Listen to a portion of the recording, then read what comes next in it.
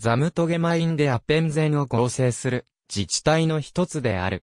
この町にあるリットベルクは、シュターデ郡の最高地点である。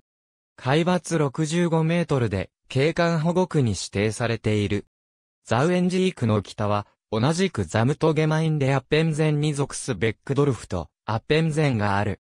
西は、ザムトゲマインデハルゼフェルトに属すアーラーシュテット及び、ハルゼフェルトと境を接する。東は、ハールブルク郡に連なっており、ザムトゲマインデホレンシュテットに属すレーゲスボステル、ハルフェスボステルが位置している。南は、ローテンブルク郡であり、ザムトゲマインデジッテンゼンに属すボーンステとフィアデンと、境を接している。ザウエンジークは3つの集落からなっている。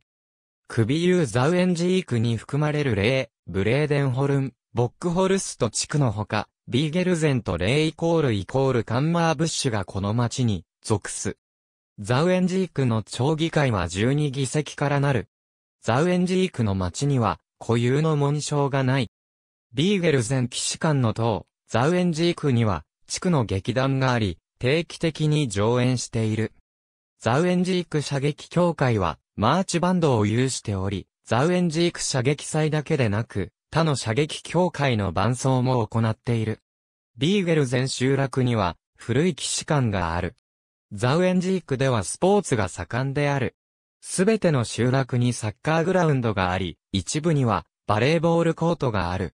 ザウエンジークには体操室のある公民館があり、スポーツクラブが利用している。ザウエンジークにはさらに天然の水浴場があり、水浴場振興協会が運営している。ビーゲルゼンスポーツ振興協会は、ビーゲルゼンの体育館を運営しており、町のクラブが利用している。ザウエンジークには、住民グループやクラブが利用する公民館がある。やはり、ザウエンジークにあるコルンショイネは、青少年の集会施設で、コルンショイネ振興協会が経営している。ビーゲルゼンには、町の基礎家庭学校がある。本家庭、実家学校はアッペンゼンへ通学する。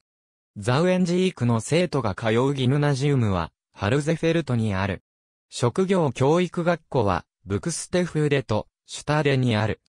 カール・フリードリヒガウスは1821年から、ハノーファー王国の測量を行った。彼は、ザウエンジークの住民の助けを借りて、リットベルクに登った。後に、この測量業は、重ドイツ丸草津の裏面に描かれた。ありがとうございます。